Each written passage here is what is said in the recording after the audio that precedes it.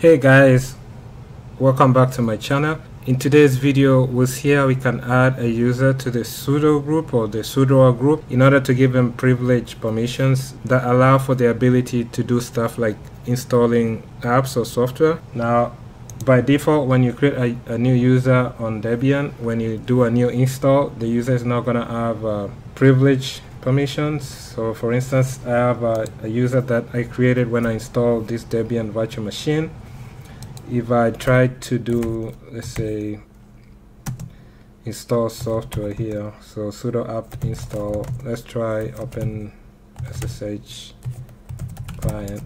You get this error message that the user is not in the sudoers file. And we can also check the groups for the user groups you know.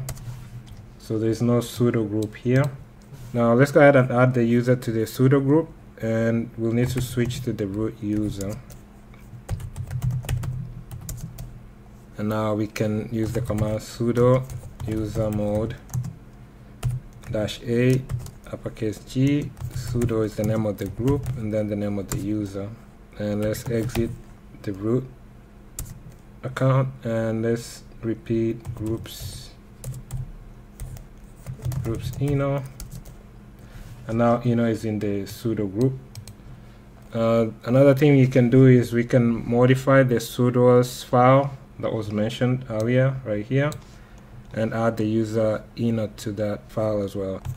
So let's go back to the root user and let's put in a password.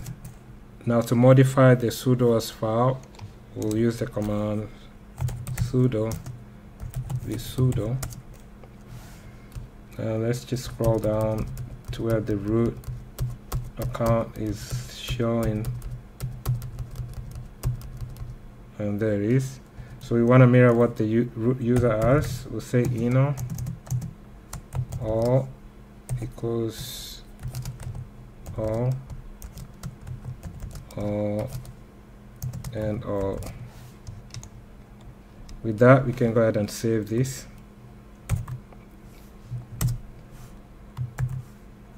And then we can exit the root account again and now let's go ahead and try the command to install OpenSSH sudo apt install open SSH client. And this time we're able to run the command.